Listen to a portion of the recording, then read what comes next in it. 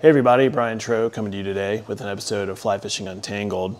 Today uh, I'm going to share with you uh, a blood knot and um, it's probably different than anyone that you've seen or that you tie yourself, but it still achieves the same result. So uh, the blood knot is probably the best way to attach two pieces of terminal tackle together.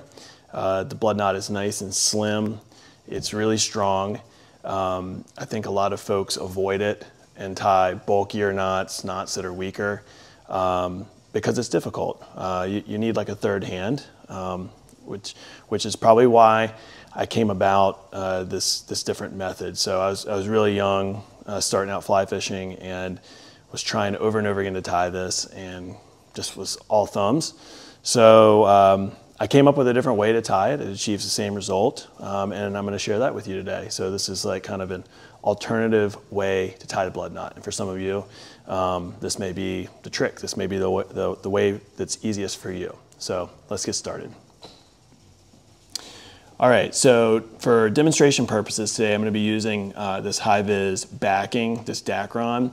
Um, if you have this at home, have spare, it's really great for practicing. You can get a good grip on it and you can see it really well. Um, it does bind a little bit more than monofilament, so for today's purpose, I'm going to take a few less wraps, all right? But what I'm going to do is I'm going to start by wrapping these two together. And I'm going to wrap them together six times. If I was if I was using uh, monofilament, if I was using tippet, um, I would wrap them together eight times. So I got my six wraps. I'm giving myself plenty of length to work with. The next thing I'm going to do is I'm just going to kind of double it over, and that's solely to free up a hand. So I've got a free hand, and in the middle of this loop, I'm going to come in with my free hand, and I'm going to give a little tug to the Dacron.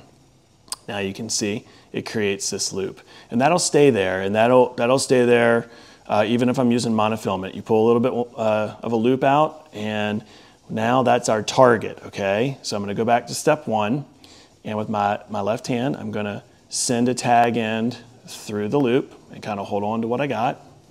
And then I'm gonna take my other tag end and I'm gonna go through in the opposite direction, okay? And this is the part of the blood knot I basically tied it now. All I have to do is seat it. This is the part of the blood knot where it really helps to have a third hand. I'm a fisherman, so I use my mouth quite a bit. But what we want to do is we want to we want to pull on the two standing lines and not the tag end.